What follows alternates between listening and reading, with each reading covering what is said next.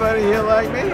If you had never seen a Larry Cohen film, you're going to be in for some really radically unique entertainment. Larry started as a writer, eventually became a director to protect Larry the writer. Yeah, shut up. We don't need all this bullshit.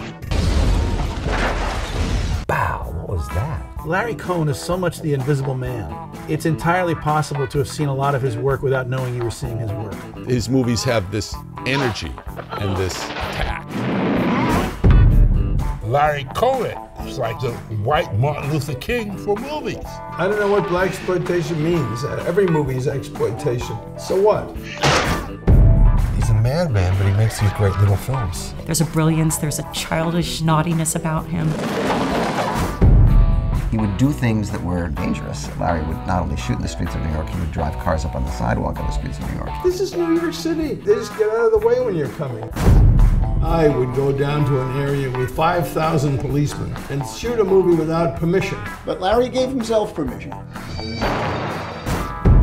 Shell cartridges were raining down into the streets of New York. People think that there's a terrorist attack. And He goes, get a cameraman and shoot somebody panicking. And then the next day, there were articles about it. They went, oh, Larry, you know.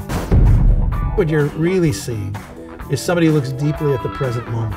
Larry's movies are not necessarily subtle. They're thoughtful. They're reflections of the world around him and the problems in that world. All the movies I do take something which is considered benevolent and turning it into some kind of monstrosity. What? What? Every time I make a movie, they always tell me that's not the way it's done, but I do it and it works. He is the true independent filmmaker. He is jump out of the chopper, run and gun. Larry is the best guerrilla filmmaker in the business. A wild, maverick sense in the tradition of the handmade picture. He trusts his actors and they trust him. The greatest daredevil Hollywood has ever seen. The reality of life is you don't know all the answers. You don't know why these things occur.